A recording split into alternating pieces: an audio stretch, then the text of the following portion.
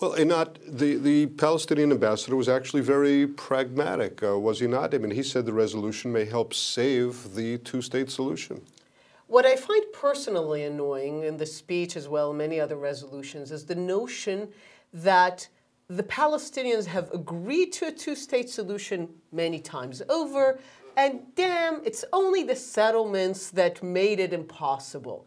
And of course, when you look at the entire history, from Balfour to Peel to partition in 47 to all subsequent efforts at agreements, Camp David, Olmert, even with Netanyahu, you see that at the core of the conflict is what he very uh, gently called justice for the Palestinian refugees, which is a code name for we still want all of Palestine. We still want it to be fully Arab. We Millions of returnees coming yes. back to their homes in Yaffo so and fundamentally throughout history, the Arab Palestinians have never accepted the two-state solution as the United Nations envisioned, as in the Jewish state and the Arab state. So the settlements certainly don't send a message of goodwill but they are reversible and they are not the reason we do not have a two-state solution. The reason to date has been the inability of the Arab Palestinians to actually say,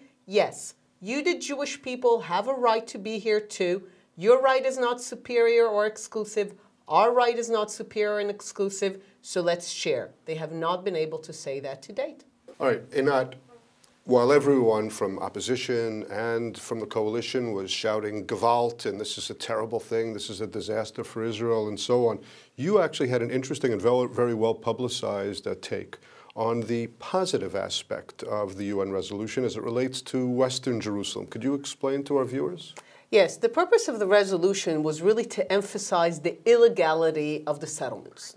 The whole resolution is about trying to cement in international law that the settlements are illegal. As a result, the, uh, the resolution takes pains to emphasize what is not legal and therefore kind of emphasizes what is legal. So the resolution calls everything beyond the green line, beyond the armistice lines, including Jerusalem, illegal. It calls it occupied Palestinian territory.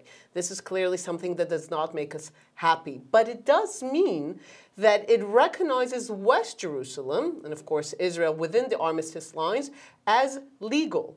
And what this does is this is the most resounding United Nations Security Council affirmation of the idea that West Jerusalem is legal Israel and therefore conserve the capital of Israel and the place for all the embassies. And I wrote that this could be a legal basis for a Trump administration to say, look, no country in the world disputes that West Jerusalem is legal and is Israel. And therefore, in moving the U.S. Embassy there, we're not doing anything that is very dramatic.